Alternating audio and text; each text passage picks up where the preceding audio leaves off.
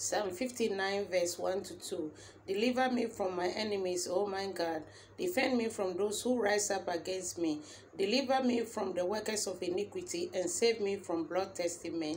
In Jesus' name, amen.